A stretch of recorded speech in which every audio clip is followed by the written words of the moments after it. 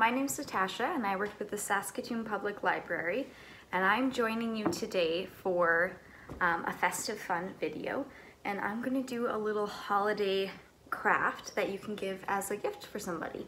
Um, and I am of course joining you from my home which is located in Treaty 6 territory and the homeland of the Métis. And for my family, for some reason, we associate Harry Potter books with Christmas. I think because they just have that good um, holiday scene.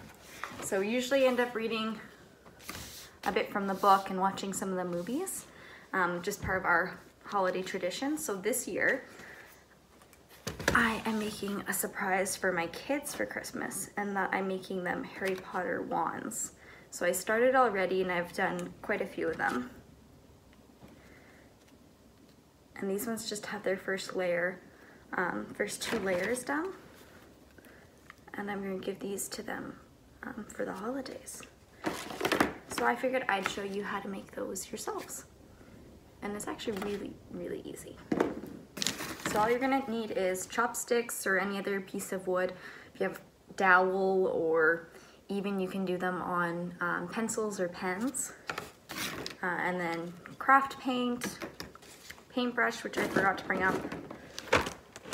And um, the key ingredient here is actually a glue stick.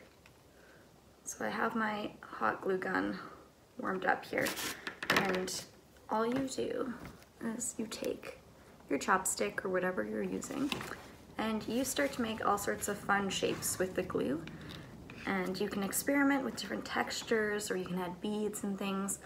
Um, on this one I put some beads under and covered them with glue to get that texture on the end.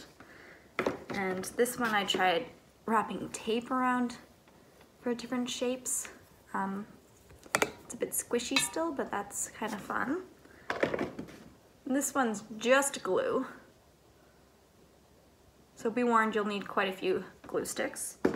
Um, and this one, I actually wrapped an old hair elastic around for the texture. So whatever you have, you can stick in there and you can make them simple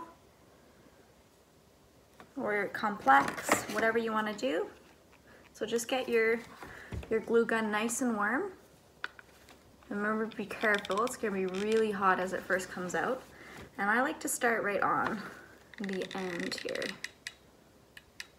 Because in my mind, these ones always have a nice, interesting handle.